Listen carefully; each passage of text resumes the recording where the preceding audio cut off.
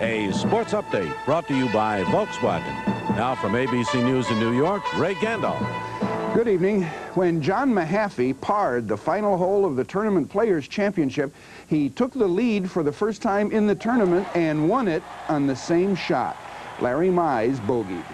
Boris Becker won the Volvo Chicago Tennis Tournament, beating Ivan Lendl for the first time in his life. Lendl's first loss this year. Now this. Out of the blue, my son calls and says, Dad, you know, if you buy a new Wolfsburg limited edition Golf, Volkswagen will give you up to a year's interest back on your car loan. And I said, Jeffrey, we should speak like this more often.